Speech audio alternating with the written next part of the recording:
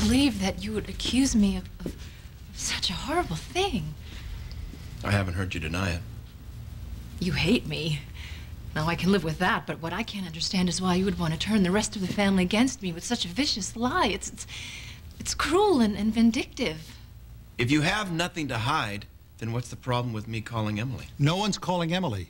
She doesn't have to be concerned with your paranoia. She's got enough to deal with. She can handle it. I'm only going to ask her one question, and then we can clear this whole thing up once and for all.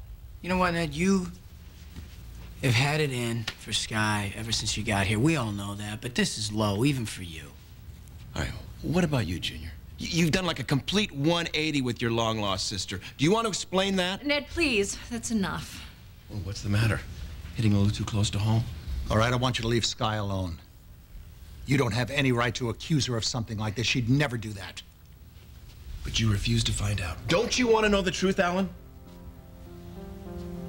It's going to come out, Skye, sooner or later. So why not just admit it? You wanted Emily gone. Be honest for a change. Or isn't honesty in your arsenal?